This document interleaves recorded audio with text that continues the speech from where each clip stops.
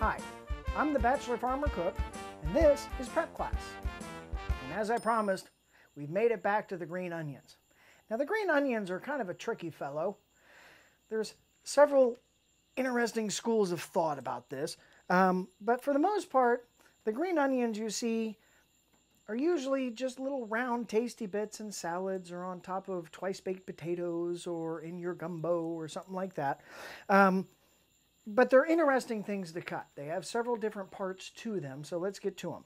You've got this big bulbous thing down at the bottom, which nobody's going to eat because it's not very flavorful, it's not very tasty. This little part in the middle, which is not very decorative or doesn't really look good, but is very flavorful. And this is the favorite part. This is what everybody thinks looks the greatest on the plate that they're presenting. So line up all your little white things at the end. Now I've seen chefs that cut off all the white parts at the end because yes, we're going to get rid of them later. Um, but I find if you cut that off, then you kind of lose your handle before you actually work with any of it.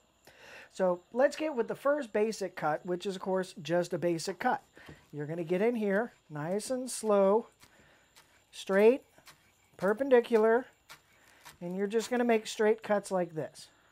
This is going to give you nice, cute little rounds that are decorative for garnishment and all those things like that. Now, there's other people I've met that are really, really fancy that insist that it has to be an angle cut so that you have these neat little angle cuts on this pretty, pretty green part. But I've also found that all the people that cut it into these pretty, pretty little angles they don't actually use the rest of the onion. So for all the kitchens that I've worked in, we've always done straight cuts, straight across. Now, usually smaller for soups, um, larger for decorative things, you know, maybe a half inch or so in order to make it decorative. But the secret to green onions is not the first half, which is the leafy part. That part's really, really easy. It goes fairly quickly whether you do perpendicular or angle. The tricky part is this last half where when you cut it, it turns into little round nuggets instead of anything really decorative or flavorful. So the secret to that is that's when you cut off all the white ends and discard. You take these thicker parts at the bottom and slice them in half. Now by slicing them in half, you're cutting through the fibers.